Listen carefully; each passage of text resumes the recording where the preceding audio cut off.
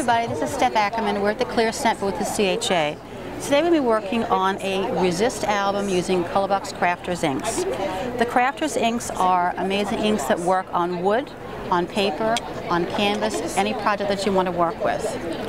So what we're going to do is we're going to work on a canvas resist and I'm going to be spritzing it first. The water activates the inks for this purpose and then I'm going to be just adding ink randomly on my canvas.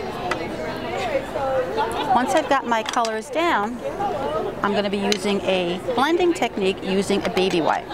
And what this does is it helps blend the colors in to the album and you're going to be getting some nice mixes of colors, variations of light and dark. Spritz it again, add additional color, light to dark, and then again use the baby wipes to blend those colors. The more you blend, the lighter the colors become. So don't be afraid to go back and add more color if you feel that the color is not just exactly the way you want it to be.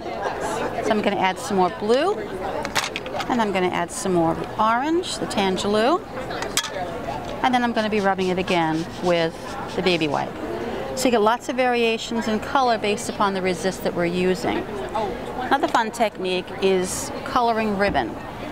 Late at night when you're working and you want some colored ribbon, you realize you don't have it, same thing. Take the inks pads that you're using, rub them right through, and you're going to end up with a perfect color ribbon to use every time.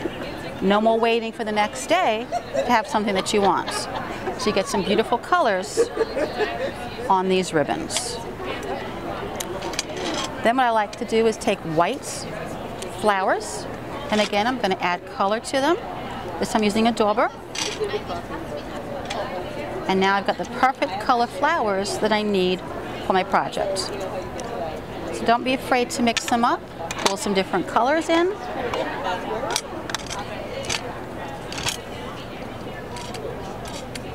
And put your flowers together.